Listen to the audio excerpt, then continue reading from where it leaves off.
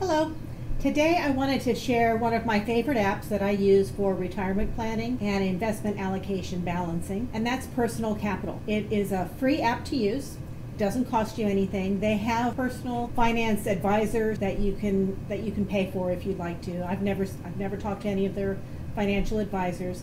They will remind you every time you sign on that it's available to you, but you don't have to. And it's a it's a robust app that you can also use for budgeting. I prefer Mint for budgeting. Mint is dialed in a little bit better, and I'm used to it. But they have uh, budgeting, investment planning, and retirement planning. The fun thing is, is if you think something will change. For example, I've played with it where my blog is making money and YouTube's making money. You know, in a perfect world, all these little projects I have would make money at some point, and I can see what it'll do to my retirement planning over time. But then for a more realistic approach, I, I plan it with just the things that are currently making me money. So I have my dog walking in there, I have eBay in there. You can put your Social Security benefits in there as well. And you can see realistically what you're going to get. You can also plan it without Social Security if you don't think that Social Security will be around when you retire. And I have found it to be an app that gives me a lot of peace of mind. I can retire in as early as five years, or I can see what it'll what it'll do for my monthly uh, income in retirement if I wait for 10 years. And of course, anytime something changes, I can go into the app and I can make the adjustments, which I really like, and I can see what that's going to do. It helps me stick to my budget, stick to my savings plan, keeps me on track. And it also gives me the peace of mind knowing that with what I'm doing right now, I'm going to be fine. If you'd like to see a little bit more about that, I'm gonna I'm gonna walk you through it a little bit. When you sign up, all you have to do is put an email in there, and you have to link your bank accounts, which you have to do with any of these. It also shows you your net worth, and it shows you if you're on track for your savings goals. In the first column, it shows you all your bank accounts and your current net worth. And then at the top bar, it's got overview, banking, investing, planning, and wealth management. The wealth management is where they're going to try and make some money, where you can open a, an account with them, you can schedule an, a call, you can talk to an advisor. If you're not comfortable doing any of this yourself, then of course you need a financial advisor. I'm not a financial advisor, I'm just sharing what I do as far as I use this primarily for my retirement planning. I like to click over on the retirement planning section.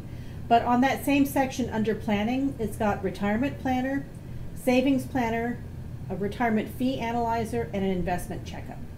And I like those because what it'll do is it'll tell me if I'm if I'm overweight in one category or not for the investment section.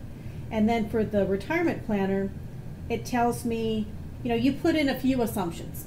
You put in at what age you're going to retire, and the current incomes that you have, you put in when they're going to stop.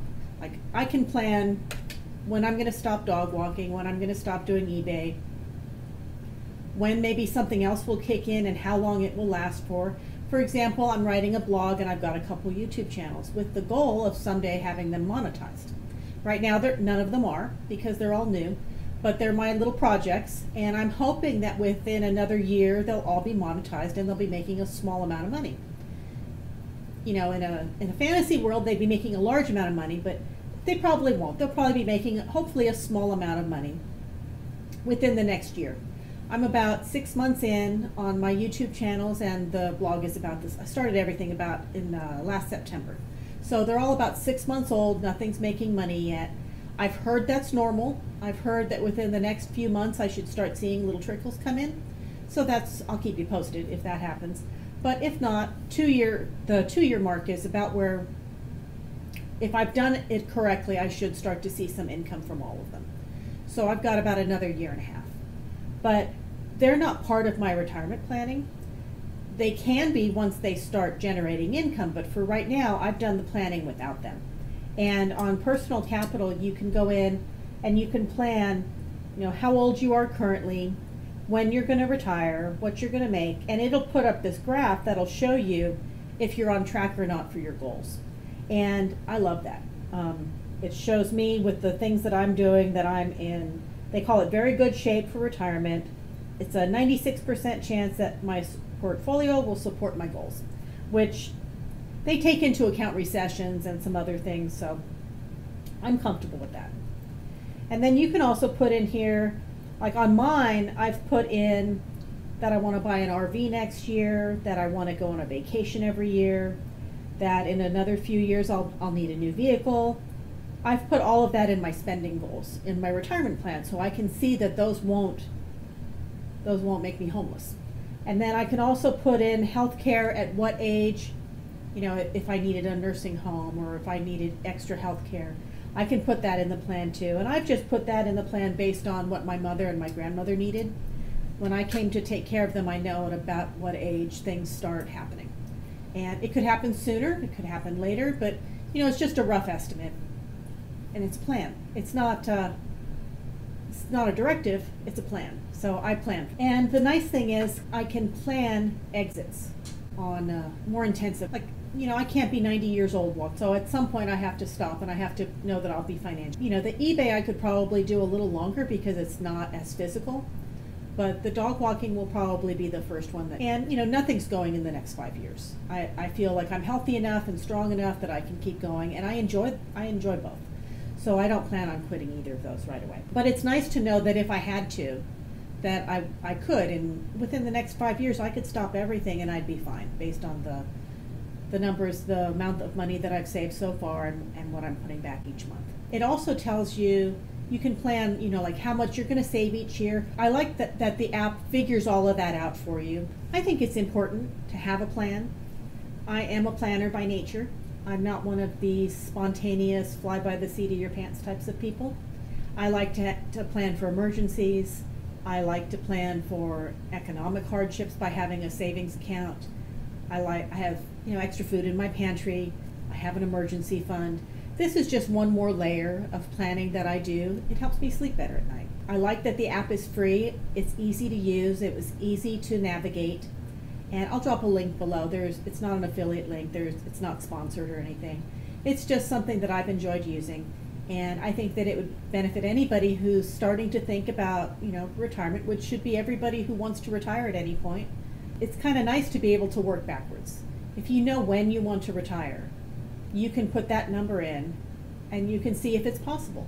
And if it isn't possible, you can play with the figures until you make it possible.